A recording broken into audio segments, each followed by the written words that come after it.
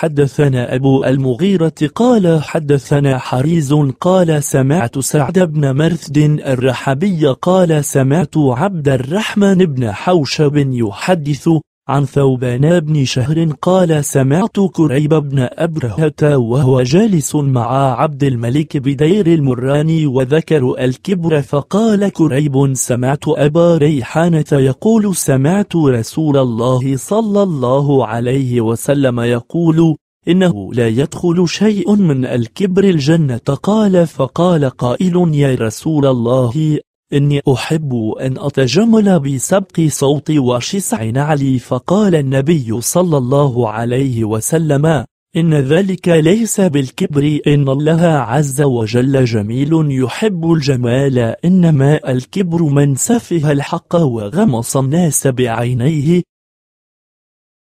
حدثنا عصام بن خالد حدثنا حريز بن عثمان عن سعد بن مرثد الرحبي قال سمعت عبد الرحمن بن حوشب يحدث عن ثوبان بن شهر الأشعري قال سمعت كريب بن أبرهة وهو جالس مع عبد الملك على صريره بدير المراني وذكر الكبر فقال كريب سمعت أبا ريحانة يقول سمعت رسول الله صلى الله عليه وسلم يقول لا يدخل شيء من الكبر الجنة فقال قائل يا نبي الله إني أحب أن أتجمل بحبلان صوتي وشسع نعلي فقال النبي صلى الله عليه وسلم إن ذلك ليس بالكبر إن الله عز وجل جميل يحب الجمال إنما الكبر من سفه الحق وغمص الناس بعينيه يعني بالحبلان سير الصوت وشسع النعل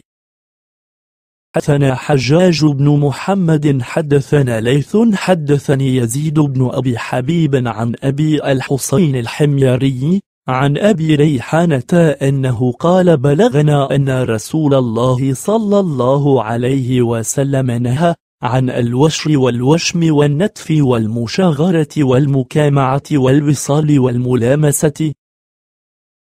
حدثنا يحيى بن غيلان حدثنا المفضل بن فضالة حدثني عياش بن عباس عن أبي الحسين الهيثم بن شفي أنه سمعه يقول خرجت أنا وصاحب ليسمى أبا عامر رجل من المعافر ليصلي بإيلياء وكان قاصهم رجلا من الأزد يقال له أبو ريحانة من الصحابة قال أبو الحسين فسبقني صاحبي إلى المسجد ثم أدركته فجلست إلى جنبه فسألني هل أدركت قصص أبي ريحانة فقلت لا فقال سمعته يقول نهى رسول الله صلى الله عليه وسلم عن عشرة عن الوشر والوشم والنتف وعن مكامعة الرجل الرجل بغير شعار وعن مكامعة المرأة المرأة بغير شعار وأن يجعل الرجل الرجل في أسفل ثيابه حريرا مثل الأعلام وأن يجعل على منكبيه مثل الأعاجم وعن النهب وركوب النمور ولبوس الخاتم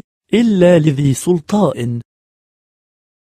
حدثنا زيد بن الحباب حدثني يحيى بن أيوب عن عيشي بن عباس الحميري عن أبي حصين الحجري عن عامر الحجري عن أبي ريحانة عن النبي صلى الله عليه وسلم أنه كره عشر خصال الوشر والنتف والوشم ومكامعة الرجل الرجل والمرأة المرأة ليس بينهما ثوب والنهبة وركوب النمور واتخاذ الديباج ها هنا وها هنا أسفل في الثياب وفي المناكب والخاتما إلا لذي سلطاء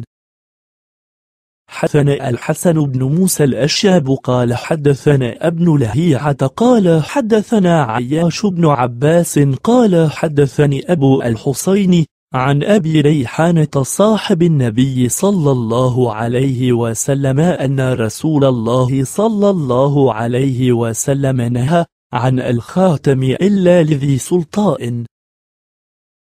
حدثنا حسين بن محمد حدثنا أبو بكر بن عياش عن حميد الكندي عن عبادة بن نساء عن أبي ريحانة أن رسول الله صلى الله عليه وسلم قال من انتسب إلى تسعة أباء كفار يريد بهم عزا وكراما فهو عاشرهم في النار.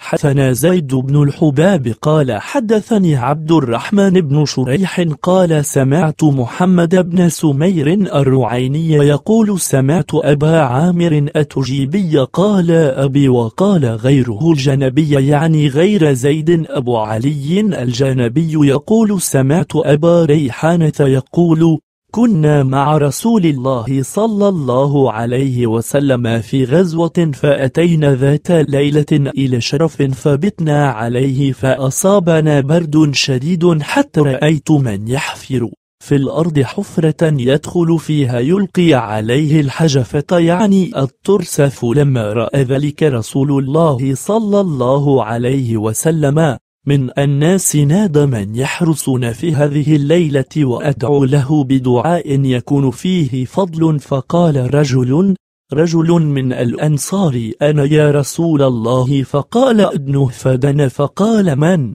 أنت؟ فتسمى له الأنصاري. ففتح رسول الله صلى الله عليه وسلم بالدعاء فأكثر. منه قال أبو ريحانة فلما سمعت ما دعا به رسول الله صلى الله عليه وسلم فقلت أنا رجل آخر؟ فقال ابنه فدنوت. فقال من أنت؟ قال فقلت أنا أبو ريحانة. فدعا بدعاء هو دون ما دعا للأنصاري. ثم قال حرمت النار على عين دمعت أو بكت. من خشية الله وحرمت النار على عين ساهرت في سبيل الله أو قال حرمت النار على عين أخرى ثالثة لم يسمعها محمد بن سمير وقال غيره يعني غير زيد أبو علي الجانبي